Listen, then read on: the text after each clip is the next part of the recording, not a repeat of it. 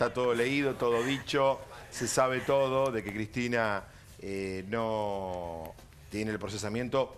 La novedad es esta, es la asociación ilícita. Exactamente. Porque, acuérdense de esto, lo decimos hoy 28 de diciembre y no porque es el Día de los Santos Inocentes, eh, Cristina va derecho en algún momento de su vida a estar presa.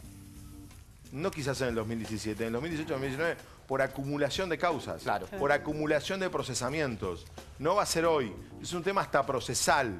Yo quiero contarles que cuando esta investigación rearrancó, porque todas rearrancaron, todas son del 2007, 2008, 2009, 2010 de Carrió, cuando rearrancó, la idea no era asociación ilícita. Eso fue después, durante los meses que los fiscales y el juez cambiaron de opinión. Sí. Cuando vieron las pruebas, sobre todo de vialidad, que es verdaderamente Claro, hay- en Santa una- Cruz, que vos conocés muy bien, es verdaderamente impresionante Bueno, lo que hicieron. Principalmente el caso en el cual eh, el juez admite o em- empieza a creer el tema de la asociación ilícita es el siguiente dato puntual. Lo que sostiene la justicia es que, o casualmente, con toda la bicicleta que tiene el Estado para pagar la obra pública, entre el 2007 y el 2015 a Lázaro Báez se le entregaron 2.196 millones de pesos en obra pública. El 30 de noviembre del 2015, todo pago todo pago. No se le debía un solo peso, incluso en obras que no estaban ni empezadas ni terminadas. Entonces, en ese marco, en ese contexto, la justicia dice, qué raro, ¿no? Tanto a obra pública, tanto em- tanta empresa, pero a Lázaro Báez no se le debía un solo peso de los 3.196 millones. Ojo, del 2007 al 2015, Néstor Kirchner también le entregó obra que llegaría en total a los casi 3.500 millones de pesos. Sí, Sí, esto pero empieza el punto ser- es este, a ver, porque la historia ya se sabe toda de, de memoria. El punto es cómo sigue Claro. lo que la gente quiere saber. Sigue de esta manera. No creo que Cristina cambie su estado civil, por llamarlo, digo civil no por casado o soltera, sino porque esté presa o libre, en el 2017. Lo cual abre la puerta, puede ser que sí, podrá ser candidata. Bueno, Sí, Fabi, la cuestión es a ser que hay acumulación de procesamientos. Claro, empieza, para que, me parece que lo, lo que puede llegar a describir un poco lo que vos decís, ¿no? Empieza a ser casi inevitable que Cristina termine como presa. pasó Exactamente. con Empieza a ser así. como pasó con Jaime. Es así.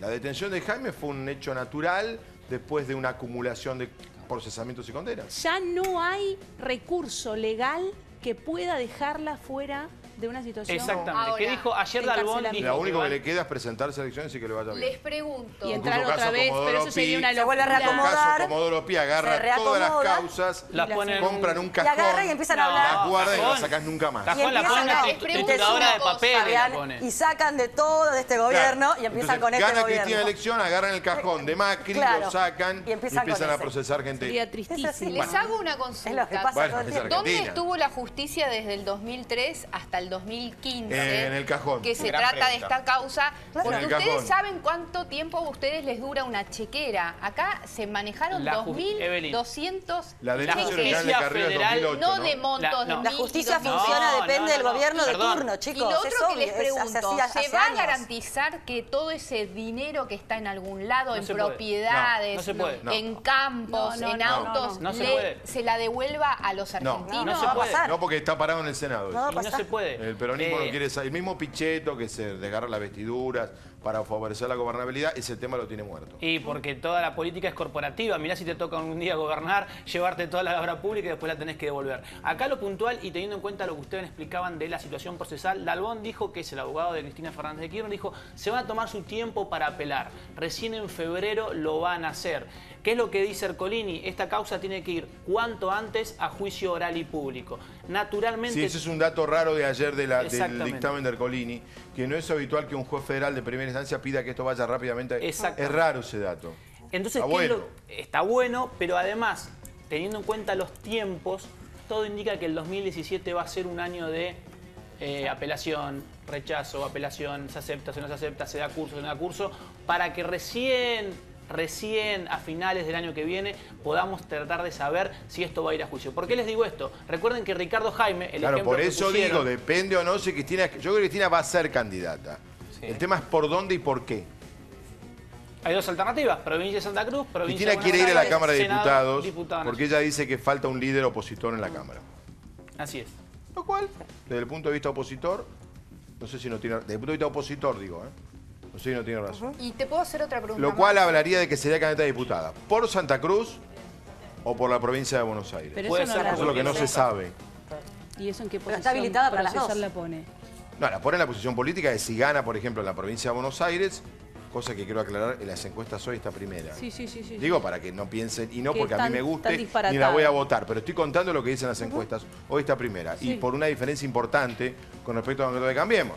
Faltan nueve meses. Y con poquito, La economía ¿eh? está Bueno, mal. frase- la una- economía se va a recuperar, los cantores de Hay Cambiemos van a mejorar. digo. hay una frase que dicen que Es pareciera que, que pareciera que Mauricio Macri es el jefe de prensa de la campaña Bueno, de Cristina, ¿no? ¿Qué es lo que pasa? Y viceversa.